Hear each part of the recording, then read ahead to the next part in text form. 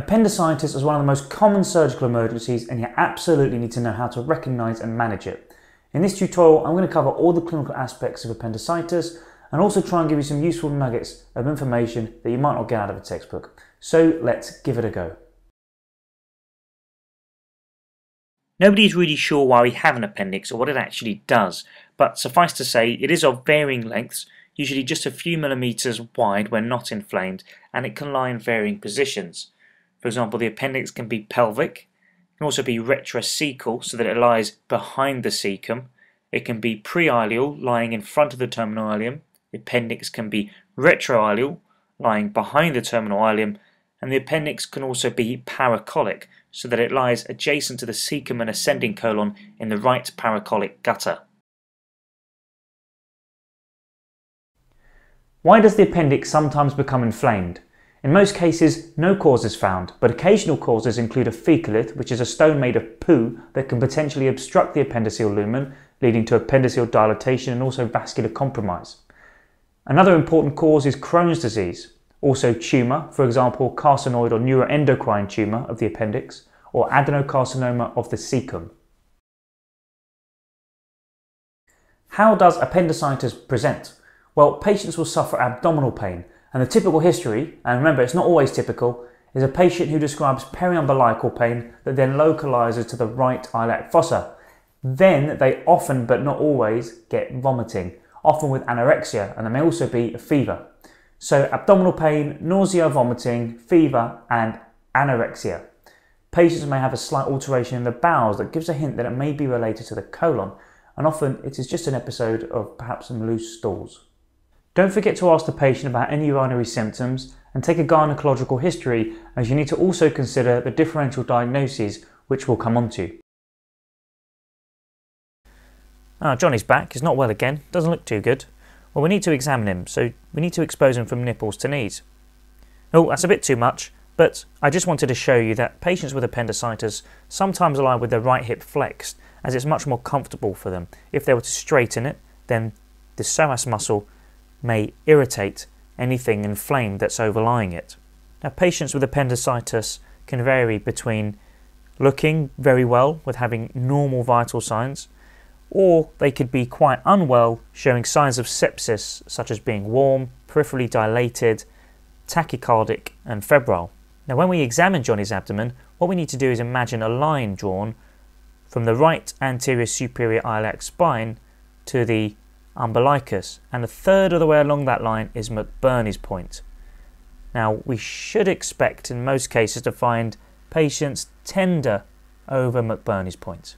Now, how do we distinguish clinically between abdominal tenderness and pelvic tenderness? For example, in a young female with pelvic inflammatory disease, we may get a clue by the position of the tenderness in the right iliac fossa. So, just like a pelvic mass that we can't get below when we examine it, if we can't get below an area of tenderness, then that may suggest that inflammation and the origin of tenderness is coming from the pelvis. So don't forget to look for signs of peritonism, so that would include guarding, percussion tenderness and or rebound tenderness. Now on occasion you may be able to palpate an appendix mass, which is essentially a ball of inflammatory omentum, appendix, maybe cecum and a bit of terminal ileum too. Now there are lots of eponymous signs when it comes to appendicitis, but let's just talk about two of them as I don't think you really need to know very much about the others. So a positive Rovsing sign is when the patient experiences pain in the right iliac fossa when you palpate the left iliac fossa.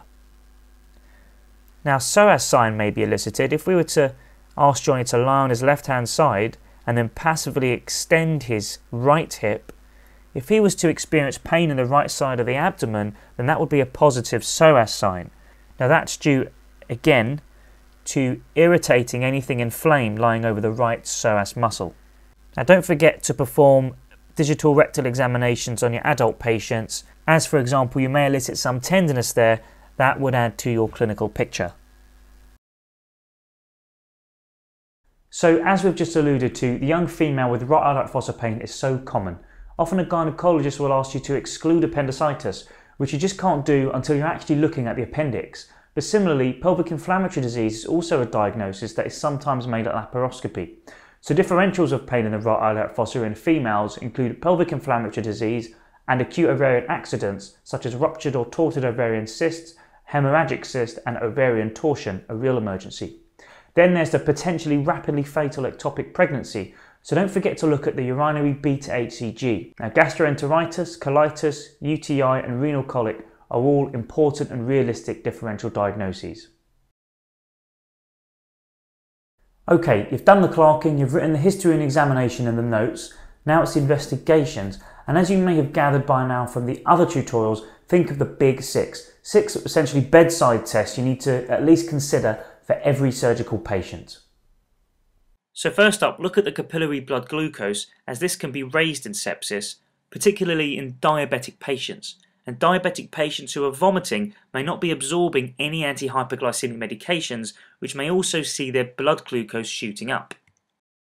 An ECG may be useful, for example, as a baseline or in patients who may be going to theatre as part of the preoperative assessment. Look at the urinary beta HCG in female patients and use the urine dip to investigate differential diagnoses such as renal colic or urinary tract infection.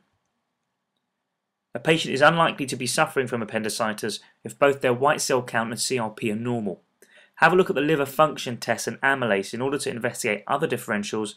A coagulation screen and a group and save should also be considered. Also consider arterial or venous blood gas. And finally, an erect chest radiograph to look for free air under the diaphragm and an abdominal film to investigate other possible causes of abdominal pain or vomiting, such as bowel obstruction or renal colic. What further tests do these patients sometimes need? Well, in a male, you'll often find there is not much else to explain a patient's problem. So a male patient with a right iliac fossa pain with a reasonably straightforward story and some raised inflammatory markers might go straight to theatre to have his appendix locked out. Now, an ultrasound scan is sometimes useful, but you'll find that most of the time the appendix isn't visualised, and even if it is, then the diagnostic accuracy may not quite be up to scratch. In females, however, there are some gynecological causes of pain that may be found in ultrasound that may obviate the requirement for surgery. But in practice, ultrasound scans arguably delay things long enough for the patient to get better or for their appendicitis to get a little bit worse and declare itself. The next step is either CT with a high accuracy or diagnostic laparoscopy, which can obviously be therapeutic too. Appendicitis needs treating. Now, medically, we can give antibiotics. In practice, antibiotics are given if the patient is septic or once we have committed to an appendicectomy, as it may just mask things enough to cause some diagnostic confusion and uncertainty about whether to take the patient to theatre. Now, antibiotics can resolve appendicitis in some cases, but it may well come back it may not work and it is simply not the gold standard of treatment at the moment. Now, on the other hand, if there is an appendix mass, then it may actually be safer to let things settle with antibiotics so that when the interval appendicectomy is performed a bit later, it's a bit easier technically, it's all a little less inflamed and friable with consequently less operative risk. So the gold standard of management is appendicectomy. Should we perform laparoscopic or open appendicectomy? There are a few small details on this slide that I don't think you need to know for your exams, but will make you feel a lot more comfortable understanding management decisions on the ward. On the whole, if we take laparoscopic appendicectomy first, the key advantage over open appendicectomy is the ability to have a look at the other organs. So, particularly in females, of course, laparoscopy is a useful diagnostic tool for the instances when the appendix looks normal. On the whole, it is thought that laparoscopic appendicectomy results in a quicker recovery and less pain on the first operative date but for some reason there is a higher risk of abscess formation. On the other hand, open appendicectomy may be slightly quicker, but this will be operator dependent, so perhaps better for patients who are really sick and need a quick appendicectomy, particularly males, where you don't have to worry about possibly needing to have a look at the pelvic organs.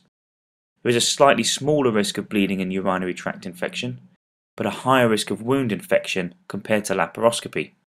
In practice, the key considerations are whether the patient is male or female, whether the surgeon is happy and competent to perform a laparoscopic operation, and, of course, patient choice. Now, all this was a summary of results of a meta-analysis, so a very high level of evidence. And that can be found at the link below if you fancy some extra reading. Left untreated, patients can die from appendicitis. Like Harry Houdini, who escaped from a lot of things, but unfortunately not from the perforated appendix that would have led to sepsis, shock, multi organ failure, and death aged just 52. Nowadays, dying from appendicitis is rare, but complications may involve intra-abdominal abscesses, leaks, and enterocutaneous fistulae.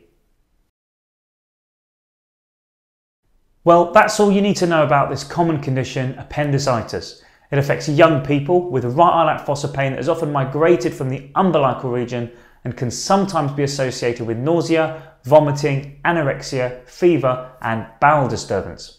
Examination may reveal tenderness over McBurney's point, and there are some eponymous signs too. And look for any peritonism. Then do some tests. Consider the big six and then perhaps an ultrasound scan, a CT, and think about laparoscopy or open appendicectomy. Remember, appendicitis can only really be excluded or definitively diagnosed by actually physically looking at the appendix. Now, many people seem afraid of appendicitis, but in general, it's easily treated. Thanks for watching. Bye bye.